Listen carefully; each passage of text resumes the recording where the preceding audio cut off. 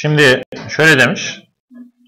Üstteki iki kutuya tabi yukarıda da işlem belirtiyor. İşlem uygulanıp altına yazılıyormuş. Yani şöyle olsak şu buradaki top, işlem toplama olduğu için 8 ile x'i toplayıp altına yazacağız. Şöyle 14 olarak. 8 ile x'in toplamı 14'müş. Ya da şu ikisini böleceğiz. a bölü x y'yi verecek. Ya da x ile 3'ü böleceğiz. Buraya yazacağız. İkisini işlemini yapıp bir alta yazmamızı istiyor. Şimdi 8 ile x'i toplayacağız. 14 edecek. Demek ki x sayısı 6 olmalı. 6 ile eksi 12'yi toplayıp buraya yazacağız. Eksi 6 yapar. İkisinin toplamı. 14 ile eksi 6'yı toplarız. 8 yapar. Y sayısı 8'miş. Hemen şuraya 8'i yazarız. X'i de yazalım. X'imiz de 6. Şimdi şuraya gelelim. A sayısını 6'ya böleceğiz. 8 gelecek.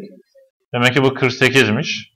48 bölü 6 8 olur çünkü. 6 bölü 3 2. 8 bölü 2 4. B sayısı da 4'müş. Bizden istenene bakalım.